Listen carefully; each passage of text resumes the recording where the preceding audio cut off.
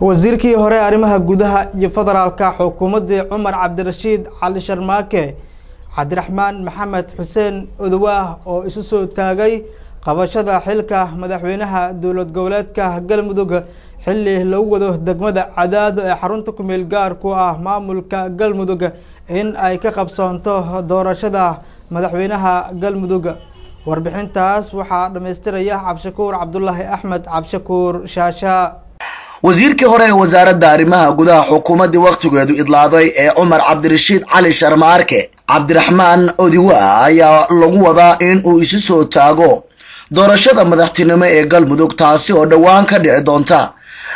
caasimadda kumeel gaarka ee galmudug ee degmada cadaado.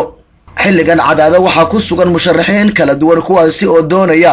inay tartan adag u galaan xilka madaxtinimo ee dowlad goboleedka galmudug hase ahaatee tartanka doorashada madaxtinimo ee galmudug ayaa noqon doona mid saameyn iyo kulaylba yeesha haddii cabdiraxmaan odiwa uu si rasmi ugu dhawaaqo inuu yahay musharax u taagan xilka madaxtinimo ee dowlad goboleedka galmudug waxaana sidoo kale cabdiraxmaan odiwa uu soo noqday wasiirka arrimaha gudaha dowladii federaalk soomaaliya ee wakhtigeedu idlaaday dadka oo dorsa arrimaha maamul goboleedyada dalka ayaa sheegaya haddii cabdiraxmaan odiwa uu madaxweyne ka noqdo galmudug in siyaasadda galmudug isbeddel weyn uu ku dhici doono islamarkaasina ay la jaanqaadi doonto maamul goboleedyada kale ee dalka ka jira. Marka loo eego dhismaha maamul goboleedyada iyo hanaanka shaqo ee maamul goboleedyada dalka ka jira lama sinna maamul goboleedka galmudug waxaana jira caqabado badan oo hor yaalla labada gole ee galmudug ka dhisan bilowun ka hor ayuu cabdikariin xuseen guuleed ku dhawaaqay inuu isaga tagay xilka madaxtinimo ee galmudug.